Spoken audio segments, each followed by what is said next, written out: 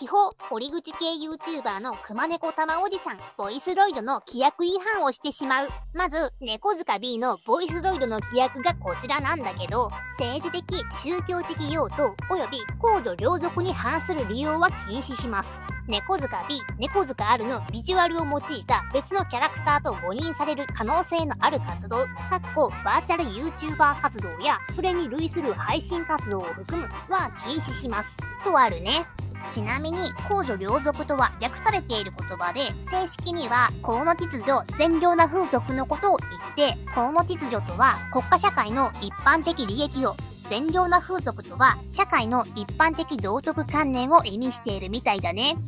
で、たまおじさんのチャンネルがこんな感じなんだけど、まず、この前の東京都知事選挙の話から始まり、石丸さんへの批判動画、そして最近では川原知事の斎藤さんの件で批判動画を出しているから、完全に政治利用として猫塚 B を使っているから、ワンアウトだね。続いて、公序良俗についてだけど、玉おじさんはチャンネル開設当初から個人に粘着し、誹謗中傷動画を作成して収益を得る行いは、明らかに人の道から外れているよね。というわけで、2アウトだね。そして、熊猫玉おじさんは、猫塚 B のキャラクターデザインを使用して、熊猫玉を名乗って活動してるよね。これは明らかに別のキャラクターと誤認される可能性のある活動に当てはまるよね。その証拠に、たまおじさんのファンは、たまちゃんを描いたよーと、ファンアートをポストに上げているんだけど、これって明らかに猫塚 B だよね。ちなみに、ファンアートを作成した人がこんな発言して、ファンアートを削除したんだけど、要は、たまおじさんがしていることは規約違反だという認識はファンにもあるんだよね。